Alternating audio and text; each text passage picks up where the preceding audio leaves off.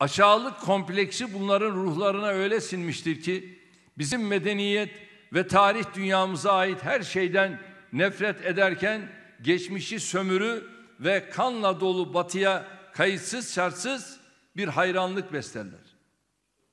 Bay Kemal'in son çıkışı da bunun ispatıdır. Bu zat herhalde tarihindeki ilk Arapça mesajını Türkiye'nin bir çıkarını savunmak için değil, körfez sermayesini tehdit etmek için attı.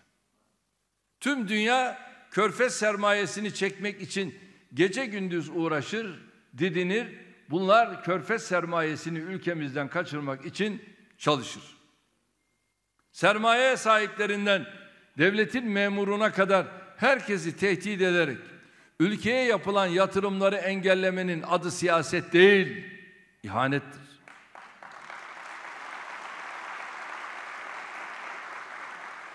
Çünkü bunların derdi ne ülkenin kalkınmasıdır, ne milletin refahıdır, ne Türkiye'nin geleceğidir.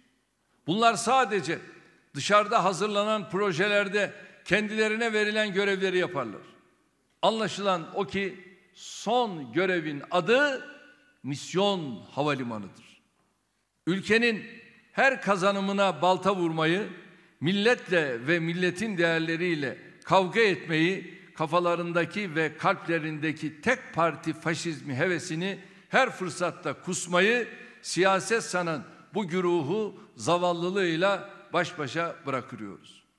Dikili tek bir ağaçları önünde durup iftiharla işte bunda da benim imzam var diyebilecekleri hiçbir eseri milletin zihnine ve gönlüne nakşettikleri hiçbir hizmetleri olmayanların sadece yıkmakla, tehditle, nefret diliyle kendilerini göstermelerini devraldıkları faşist mirasa veriyoruz. Varsın onlar İstanbul'a hizmet diye biraz komik olacak ama musluk açmaya devam etsinler.